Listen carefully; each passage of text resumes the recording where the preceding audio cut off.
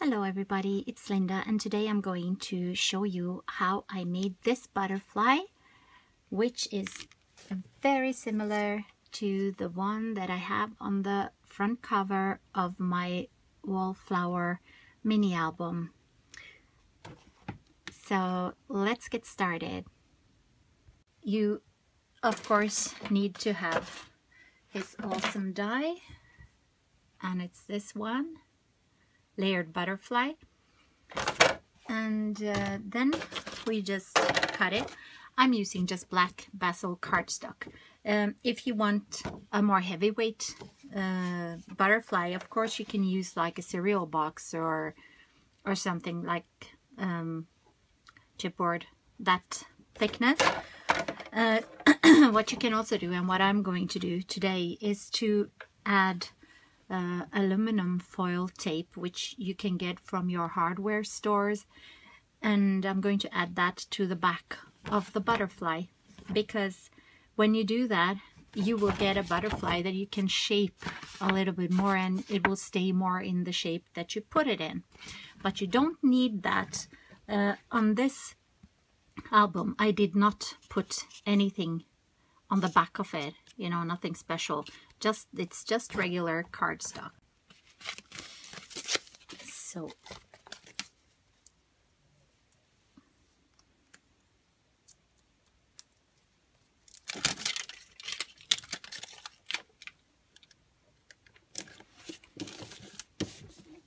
Okay it doesn't matter if they overlap or anything.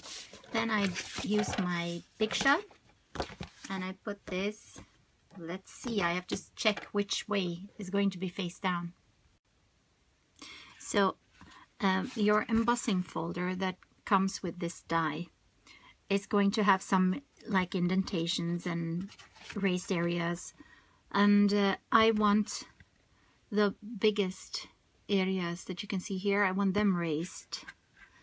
So that's why I put the the raised part on the bottom and this on the top and then I have to check the wings on, on the butterfly die to see that they coordinate, you know, when I put it face up. So, so I'm going to run it through my big shot with the aluminum foil face down.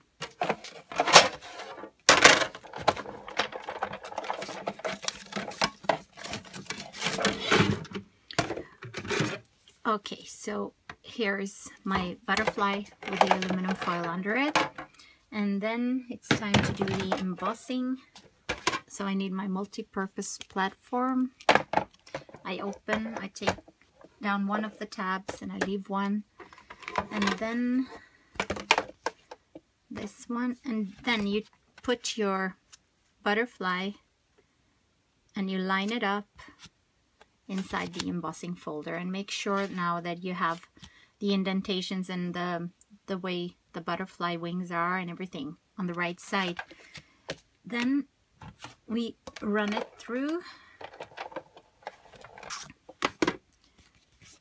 and as you can see it's now embossed. So now the coloring starts. I am using black cardstock because that will you know look the best for my project because I'm going to to make it like golden and greenish colors. So you can use any kind of cardstock but if you want the same color effect that I am having then if you use another color cardstock just paint over it either with black acrylic paint or with black gesso. That will do the trick for you. So let's see what we do. We can use sprays. If you have Lindy Stamp Gang, you have Prima sprays, you have some like Tim Holtz uh, sprays, anything will do.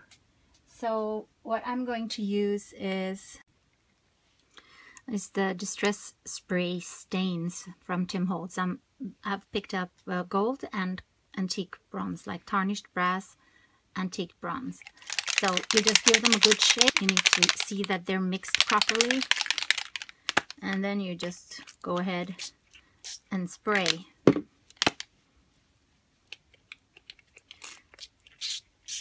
You know. Then you use a piece of paper and you rub it onto your butterfly.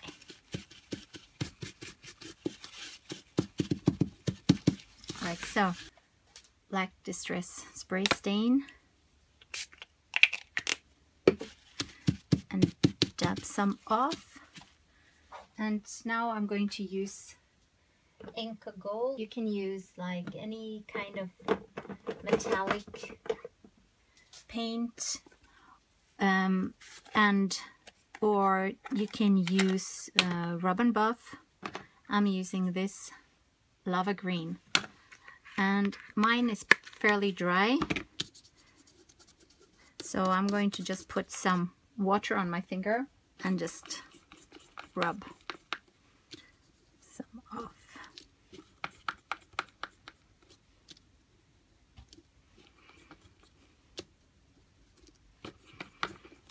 And I'm just putting some here, some there. Okay, as you can see, it's fairly gray still, so I want it more brown, the gold brown. And this is really soft still.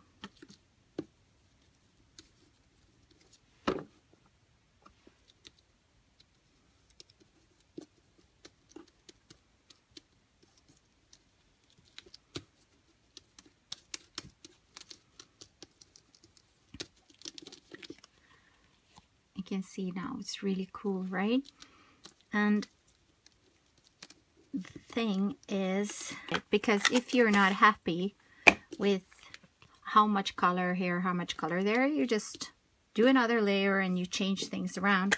I'm going to spray over it with some more of the black Dis distress spray stain.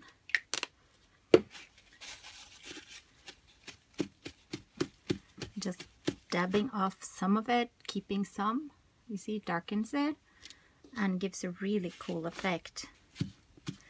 And you can use your paint dabber. The the point is of this is no worries right? Just go ahead and play with it because you can go in and change things over and over until you're happy. So now I've darkened the, the outer edges of the butterfly, which I think looks really cool. But now it's all like blackish and brownish, and I need some more green to go in there. So, again, I need to dip my finger in water. There are some tricks for making these soft, but uh, I haven't found any tricks that works really well so far, so I'm just doing it this way because they still work even though they're dried like mine. You just need to add a little bit of water. I kept, I, I used the trick that you keep baby wipe in it, which just gave it lots of moldiness, you know, so I had to throw it away. So uh, be careful to keep baby wipes in there. You might not get the, the result that you're after. Okay, so here it is. I'm beginning to really like it. And uh, now let's do the, the spoon thing that I did in the middle. I've got this little spoon. It's bought from um, an eBay seller. You know, you can just Google uh, spoon charms or you can just go on eBay and search for spoon charms and find them. Just make sure that you agree with the, the price of the shipping before you order anything. So this is going here. And uh, what I want is I want some twine around its body.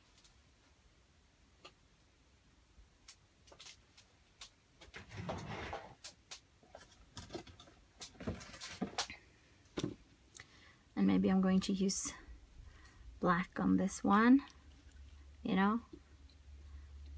Yeah. I used light colored on the other one just showing you like this but I want to use black on that one. Put a little bit of glue and I lay the, the string down and I start going just round and round so now I think it's pretty nice and even. then I just whoops just go put a little bit of glue behind there. That was not a little bit that was quite much so I'm just taking off some. And I just put the string on the back like so and I just cut the ends.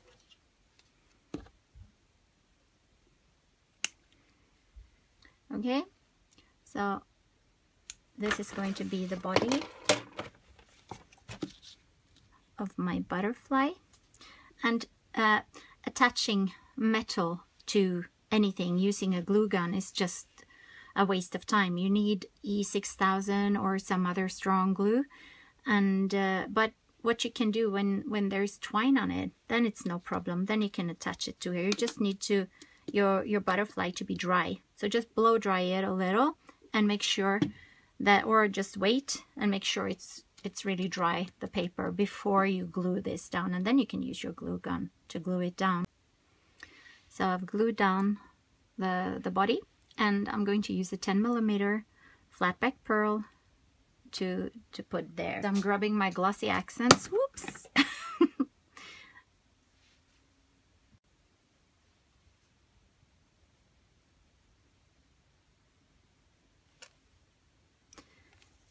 and then make sure I have enough because the spoon is hollow so I need some of the glue to make contact with the spoon. So I'm putting some on the edges here because that's where it's going to sort of connect. And then I just leave it until it's dry. So because I have the foil, I can just bend the, the butterfly into shape, right? So if I want it to stand out more on a page, then it will not, you know, bounce back so easily. So that's why I'm using the, the foil under it. So that's your butterfly. I hope you enjoyed the tutorial. I hope you found it helpful. And I hope now that you are not that afraid, you know, to just go ahead and play with your stuff. Because, you know, if I was like totally unhappy with this, so what do you do? You just use black paint and you just paint over it and you start over because the black paint is only going to make your paper more sturdy anyway, so it doesn't really matter. Okay? So have fun, play with your stuff, enjoy, and make some wonderful things. So thanks for watching. Have a wonderful day, everybody. Bye-bye.